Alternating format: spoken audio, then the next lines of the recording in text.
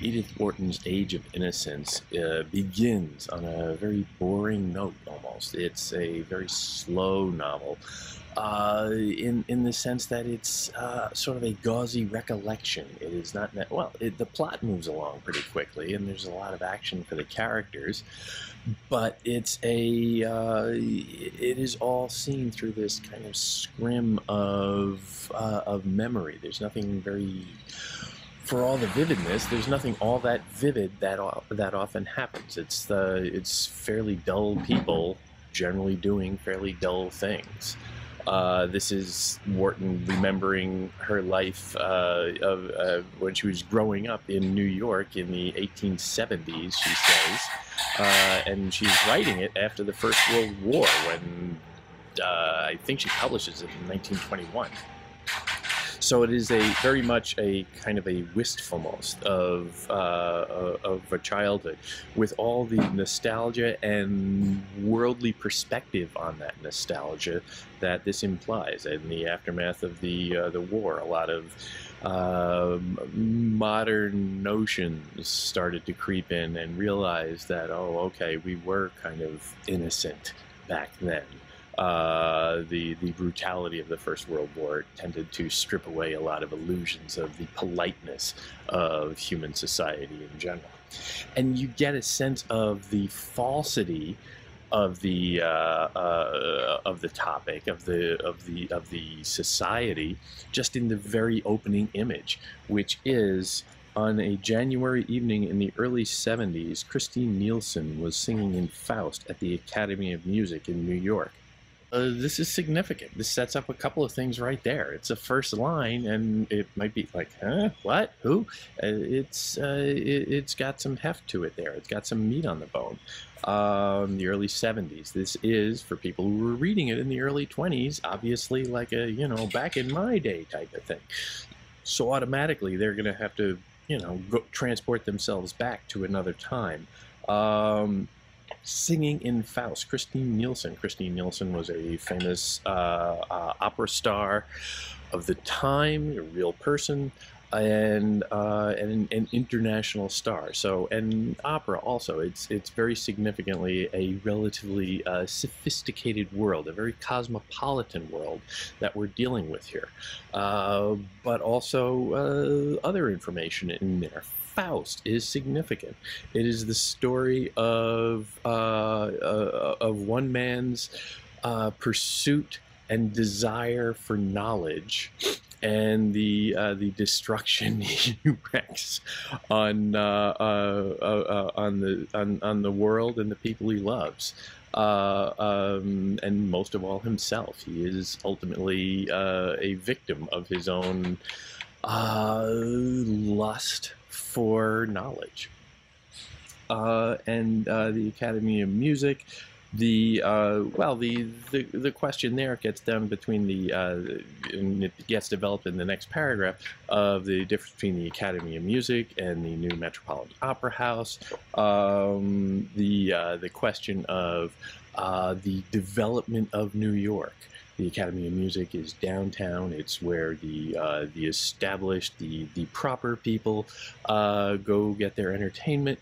Uh, and you know, this isn't for that rowdy crowd at the Metropolitan Opera House, which is up uh, in in like the high 30s uh, or the or like 40th Street or something like that, which is considered like you know chaos up there. That's that's you know that's the wrong side of the tracks um, there's that sense of the newness coming in, new money coming in specifically. This isn't necessarily, you know, people are going to the opera. They're not necessarily, you know, going to a barroom brawl or anything like that, but they are new money who cannot perhaps get access to the uh, the, the older venues, so they are developing their own, and this is exactly what happened. And so you're getting that presence or that pressure, that upward pressure of generational shift, uh, new money coming in, a world that is suddenly coming under some scrutiny, and the suggestion that, well, okay, uh, the the proper people, the the people that matter, uh, those are resisting some of these changes, and there is a uh, there's a conflict there. There's a pressure there. Uh, but all of this, okay, uh, ne- necessarily puts a spotlight on the on the fact that it is a theater. It is a world of performance. Uh, so there's a kind of meta reference here, where the uh, where the focus on the theater in the very first line, uh, the focus on the theater makes one think about performativity in general, and the idea that perhaps everybody here and everything that that is going to follow that very first line uh, is about performance, uh, not necessarily about truth or actuality or sincerity or any of those, you know, polite terms, but about performing performing your role, performing your character, uh, being or living to be seen and watched and observed by others. It's a, uh, a, a, curious little uh, moment there. It also, however, does have a meta reference uh, to the artificiality of the novel itself. Um, literature is just another form of artifice. Literature uh, is a kind of performance. Uh, by casting it again, sort of like in the far distant past, you're already sort of put on guard. Well, is this a once upon a time story? How uh, how innocent or how you know sentimental is this going to be? Uh, what is the relationship uh, of this narrator to the material, uh, which is very crucial. Uh, all of these uh, all of these questions start surging in the very first line, and well, in that second paragraph as well, which talks a little bit about the uh, the advent of commercial cabs and how convenient they are, as opposed to having your own car take you and pick you up, and where you have to wait for it, and you know, there's all this notion of again the uh, the upward pressure of new money coming into a very rock solid establishment of so-called old New York. Um, there's a uh, there's a, uh, a fairly uh, a fairly sober tone to all this. Uh, it is very much a in a realist vein, which which Wharton really works within, uh, and, and, which comes to us uh, a, an awful lot from, and was the probably prevailing force of uh, American lit in the uh, in the 1870s. Very realistic uh, description. You get a real sense of the place. When Newland Archer opened the door at the back of the club box, the curtain had gone up on the garden scene. There was no reason why the young man should not have come earlier, for he had dined at seven, alone with his mother and sister, and had lingered afterward over a cigar at the Gothic library, with glazed black walnut bookcases and finial top chairs, which was the only room in the house where Mrs. Archer allowed smoking. You get the sense of the decor, uh, very specific references to the uh, to the the blazed black wall, the glazed glazed black walnut uh, bookcases, um, that sense of uh, furniture, quite frankly. Uh, interior design. Uh, Wharton wrote a book about interior design. She was very into it. Um, and, and the sense that, well, okay, these things that are there to be looked at uh, we should consider. We should. They have a, a, an intrinsic beauty. They have an intrinsic value, and we should appreciate them. Which, of course, opens up the question of, well, uh, does that extend to the characters? Should we have the same focus on the, the human beings walking around as we are the furniture? The human characters are another kind of furniture in literature, quite frankly. And the, the, the simple, um, objective setting of the scene, I think, is important. Um, we're not taken like into Newland Archer's thoughts necessarily right here in this spot, in this particular opening. We just see him as a human being, and we get a lot of information in just a few lines conveying the sort of life he had, enjoying his privileges, and he knows what rules to follow and how to follow them. Uh, there is a room for smoking allowed for the gentleman, and he goes along with that, and that's kind of an important character trait. He uh, he observes the proprieties. He's not there to rock the boat. He's not going to just sit there, uh, walk into a house and say, "Oh, no smoking in here." Well, I'm going to do it anyway. He's not going to put his feet up on the coffee table and light up a stogie, tipping the uh, tipping the ashes on the rug. That's not him. He's going to respect the rules. Um, but within this, uh, the the style of the writing is really very um, uh, curious at times. Uh, Wharton herself establishes a narrative voice that is uh, an insider. She knows all of the secrets. She knows all of the insider stuff, but she has a kind of wry detachment from it. Uh, you get this sense, and think about this from a reading public standpoint. When she is writing in the 20s, and there aren't that many you know, uh, polite old New York people wandering around who are going to buy or read this book. But this is for a curious public. Think of uh, think of a public that um, is infatuated with wealth and glamour and celebrity. Uh, you, you, know, of course, those people don't exist in real life today. Uh, but from that, she is tossing out these little crumbs. This character of the narrator is saying, well, of course it was like this and this, and of course this, this gentleman had to do this and he had to do that. And it's all got this sort of inside vibe to it. It's got this real, uh, almost gossipy tone to it. It's very knowing, it's very tasteful, but it's just she is giving you the insider perspective there is within that a kind of uh, sense of uh, the exclusiveness of it, the within that ironic tone, that dry voice of uh, of, of, of, Wharton's uh, narrator. Um, she she constantly gives these little hints that there is a kind of insiderness to which even those people reading about it and getting all these secrets uh, will never really be able to uh, uh, to access. There's a certain coterie uh, element going on here that that is exclusive, and the nature of exclusivity is that it excludes. And who does it exclude? The reader.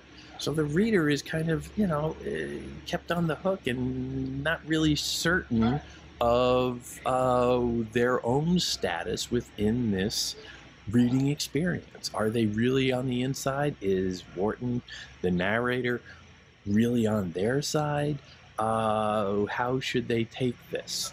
The uh, the position of the reader is really very unstable, and that's that is a result of the uh, the writing, always sort of suggesting that you know a little something, but no, there's a lot that you don't know and that you can't know because you're not one of us this comes out when uh, they start talking about uh, about uh, one little element in, in that first chapter about uh, the opera itself.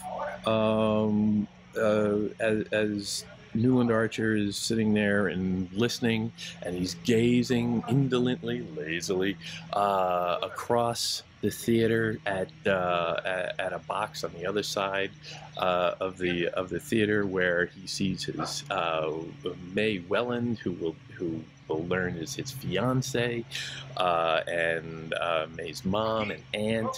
Uh, and they're there all dressed up, and May's, you know, sitting there like she's surrounded by flowers, lots of flower imagery. She is pure, she is innocent, uh, like the title. Um, she is somewhat delicate uh, and uh, also largely ornamental, like flowers. But Newland is sitting there and, and he's listening uh, to the music and uh, we get the um, we get uh, the narrator coming in. She sang, of course, "M'ama," which and not "He loves me."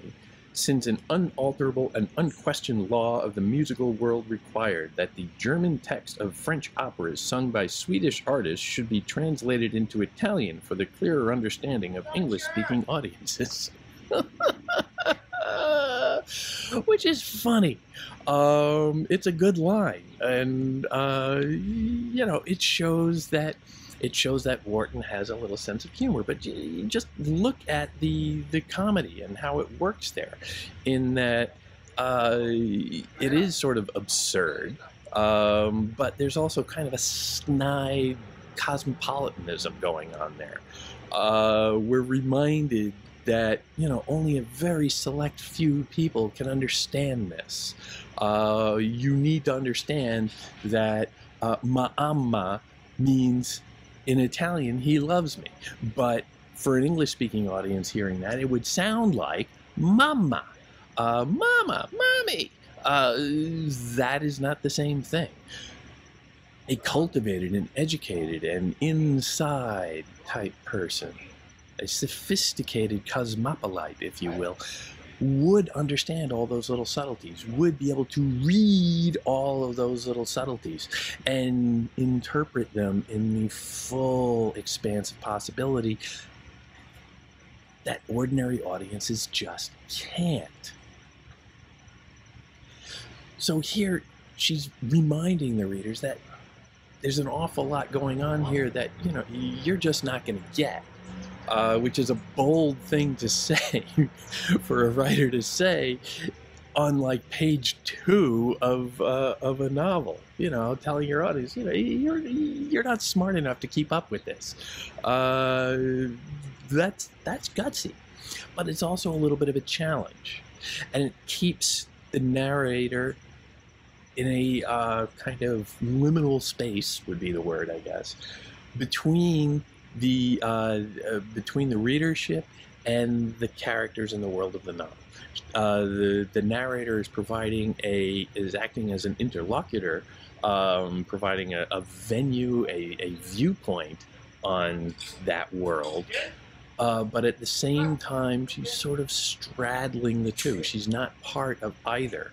Uh, and that again is like a destabilizing element. We're not quite sure how to take any of this. Um, a uh, you know a, uh, a good narrator from just a couple generations before, you know, opens up with one uh, once upon a time, and you always know exactly where you are with that narrator. Uh, well, with that world. The narrator seems to know everything. The narrator is confident, and the narrator guides you through it as an ally. Here, we're we're going through this inferno with a Virgil with a little bit of a tude, and eh, we're not quite sure how to take it. You're never sure what reality you're looking at. No expenses have been spared upon the setting. This setting is the novel or the stage. It's a little unclear when it just comes up like that, which was acknowledged to be very beautiful even by people who shared his acquaintance with opera houses of Paris and Vienna. The foreground to the footlights was covered with emerald green cloth, the middle distance symmetrical mounds of woolly green moss, bounded by croquet hoops, formed the base of shrubs shaped like orange trees but studded with large pink and red roses, gigantic pansies considerably larger than the roses and closely resembling the floral penwipers made by female parishioners for fashionable clergymen, sprang from the moss beneath the rose trees and here and there a daisy grafted on a rose branch flowered with, luxur- with a luxuriance prophetic of Mr. Luther Burbank's far off prodigies.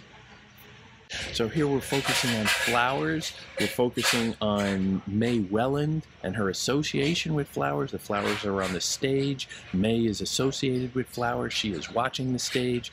And here we have Newland Archer just sort of glancing back and forth between them, wordlessly, silently, just contemplating his future considering like well you know what kind of a wife is she going to be to me we're going to have a good life together she's going to be a, uh, a good uh, ornament on my arm. She, uh, you know, she will uh, she will allow me all my little uh, um, uh, habits. She will cooperate with me. She'll be smart, but not too smart. Smart enough. The society at the at the time, Newland Archer is very concerned that well, okay, you know, uh, on my honeymoon, I'm going to take literature and I'm going to read the classics to her, and you know, I'm going to read. I'll read Faust to her so that she understands some of what she is watching tonight. Uh, you know. I can't wait to go on my honeymoon so I can read. Uh, that tells you a little something about the character, but also of the values that he holds. Reading and reading poetry specifically um, is considered uh, uh, masculine. And he drops that word repeatedly, uh, or the narrator drops that word repeatedly the masculine virtues. Um, gender is a part of that uh, but also of uh, but also there are, there's there's a conflict in there of wealth, a binary uh, opposition of, uh, of wealth uh, that gets implied with all that. There is a repeated concern with masculine values and we're introduced to a pair of of the men of the the uh, they are great experts in uh, the uh, what is it? The one of form and the other of family. Uh, and those words are put in quotation marks, which automatically set them off. And go, you know, what's why is that in quotation marks? That's kind of weird. Why would you quote that? So, it, so you're getting a sense of like the um, the oddness of those words. Uh, you know, imagine putting air quotes on something. It makes it seem odd. It makes it seem peculiar. And here you have actual quotes making those words seem odd because in as you read you realize form and family really just stands for uh, fashion and gossip uh, the one guy uh, what's his name leland um, is uh, Lefferts rather Lefferts uh, Lefferts is a uh, an expert in form, and he always knows, you know, when you have to wear a black tie versus a white tie or something, I guess. Uh, and he always knows exactly like how to uh, how to sit, you know, what to do, and you know, uh, all of these things uh, of fashion, of clothing and behavior, all very outward things. Uh, and and you get the sense he's really quite the dandy. Uh, and then you also get the, uh, uh, oh God, I'm bad with names, Sillerton Jackson great name.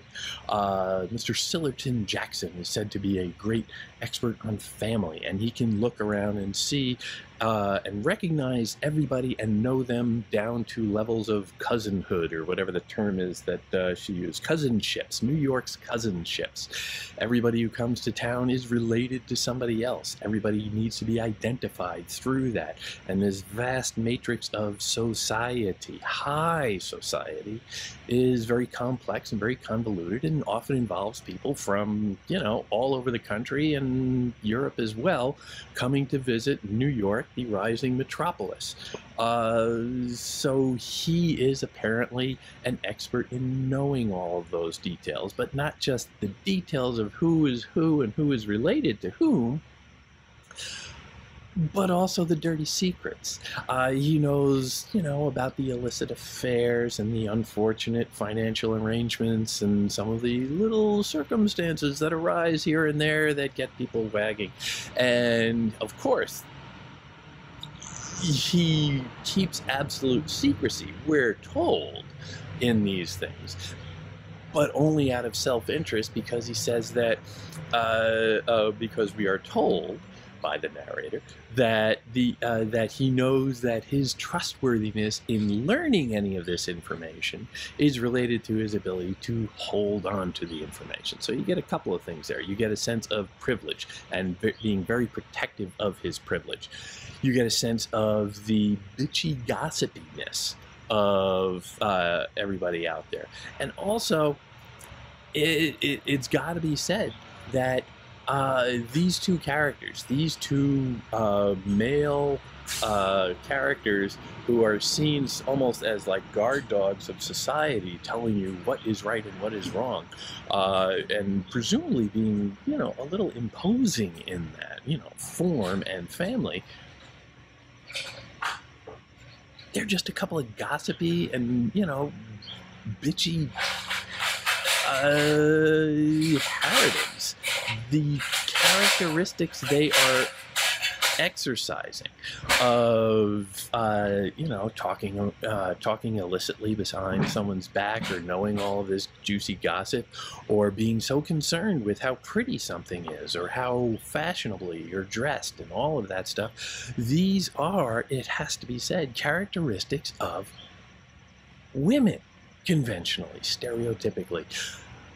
Wharton is taking that, Wharton, a female author, is taking that and flipping it on its head.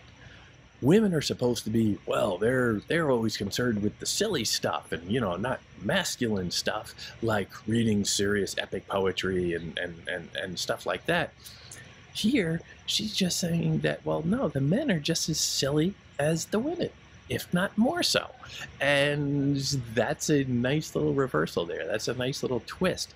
The um the uh, it, it it gives a distinctly uh, um, feminine tint to that world, that world of performance, that world of exterior um, and uh, cosmetic, often appearances. Excuse me, where we're watching this performance, we're watching all of this performativity, and we see uh, very little actually happening in those first lines. And we're just getting a sense of the value system that is being embodied here. The uh, the characters and their essence in this world. Newland archer Newland, new land you, you can go on about that a lot has been written uh, archer you know how many archers have there, have there been you know, apollo and you know whatever we're not going into names just yet uh, Welland too. But Newland Archer is a very conventional person. He's a very staid person. He is old money. He's resistant to anything new, any innovations, uh, new money, you know, to say nothing of actual poor people. Uh, but he is very protective of his privileges. He is very conscious of his appearance. And he's aware of the performative obligation on him. All he really aspires to do is be a figure in society, to function in that world, which means to be seen, to be out at the opera, to have a uh, attractive ornament on his arm that complements him more than anything, uh, to exist in that world that is all exterior. And it's only when we get a sense of all that that we can understand the seismic um, shock that comes when a newcomer appears in the box across the theater with May and her mom and aunt, and every, you know, Lefferts and Jackson just go, "Oh my god," you know, oh, oh, oh, and they're shocked to see this woman who's dressed in a particular way that draws attention, who is perhaps a little notorious. Jackson supposedly knows everything and everybody's little dark secrets. Uh, we are kept on the outside at this point. We are not given a name at this point. We are not really brought into those worlds. The people in that world know the stuff we don't. And Wharton says, hey, hold on. You don't know that yet. Maybe you could find out in time, but for right now, no. You don't know. Accepting that is part of the problem. Not accepting that is the challenge. The mysterious stranger uh, exacts a resistance mysterious stranger prompts shock.